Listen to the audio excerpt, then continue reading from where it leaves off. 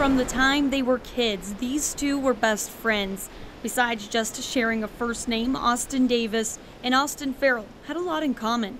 But as they got older, things started to change. You know, hearing those, I was I was a little upset about it, obviously, because you know me and him were best friends when we were in middle school. Farrell started to learn about Davis's track record after the eighth grade, a string of charges with felonies and misdemeanors, including battery on a school board employee. He reached out to me and, and you know and asked me if there's any way that I can help him you know, kind of make this this business grow and help him, you know, do what he wants to do with it. So I said, absolutely. It's that troubled past, though, that brings these two together today and has enlightened Davis on a new path that they now share. My company is the Jon Doe Movement. His goal, a uh, movement that will help the everyman or woman pursue their dreams despite setbacks. I first got arrested when I was 14 years old, my freshman year of high school, and it was actually a felony, so it was a pretty big one and I ended up getting kicked out of school. Their laughter, a clear uh, indication that yeah, this is a part of the past Davis can no longer relate to. We can look back on it now and like, wow, you know, we were young and stupid. His bad decisions have haunted him, he says.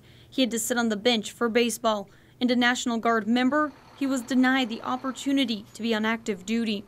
But things really changed for Davis this past year.